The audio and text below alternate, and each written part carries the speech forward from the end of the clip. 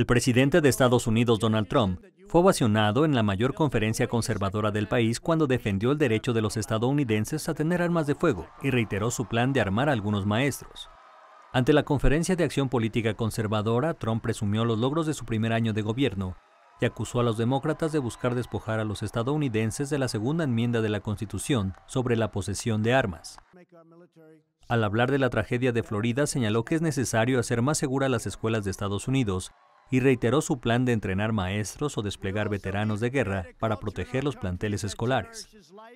En su mensaje, el mandatario destacó que su gobierno aprobó un número récord de jueces, un nuevo magistrado de la Suprema Corte, recortes de impuestos, menos regulaciones y la eliminación del mandato individual en Obamacare.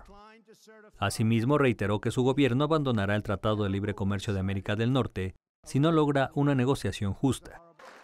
And we want to make our neighbors happy, but we can't continuously have other nations taking advantage of the United States like never before. You know what? And this hate to say it, but if we can't make a fair deal for the United States, we will terminate the deal and we'll start all over again. Notimex.